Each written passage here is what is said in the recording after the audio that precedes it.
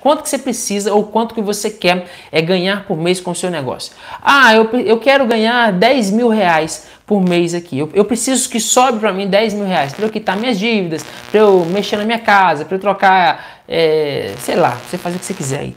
10 mil reais, aí o que, que você vai fazer? Se, se é 10 mil reais por mês, você volta lá e pensa, poxa, a capacidade de produção dos meus maquinários, elas, ela, me, ela me permite é chegar a 10 mil reais por mês, aí você vai saber. Se você estiver trabalhando com taxa, não vai chegar nem sonhando em cima desse número aí, tá?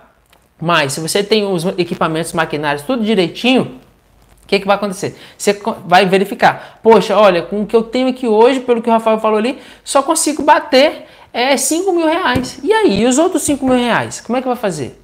Aí entra, a partir daí entra a engenharia é, de cardápio paralela aqui, certo? Uma engenharia de cardápio só para, é, para modificação do produto que você já estava atuando, ou seja, trabalhar com batata espiral agora em atacado, recheadas é, pelo delivery, que é o disco entrega, é, fazendo festinhas de aniversário, prestando serviços e assim sucessivamente. Feito isso, criou engenharia de um prato só, beleza. Ah, e quanto que chegamos com isso aqui? Poxa, daqui de 5 mil a gente foi para 8. 8 é a meta que você precisa por mês? 8 é o número que você está buscando é, para chegar no resultado que você quer por mês? Ah, não é ainda, falta dois.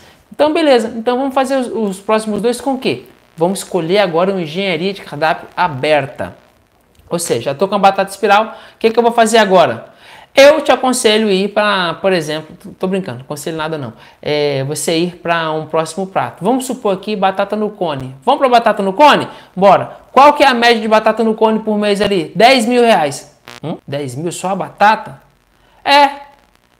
Então se eu colocar, eu, vou, eu posso ter, é possível ter um acréscimo aí de mais 10 mil reais? Sim. Então, beleza. Aquele, aquele, aquele produto que nós estávamos trabalhando, validando aqui, já estava batendo 8 com mais um prato aqui. Quanto que deu? 10 mil reais ali. Com, com os 8, bateu os 18. Beleza?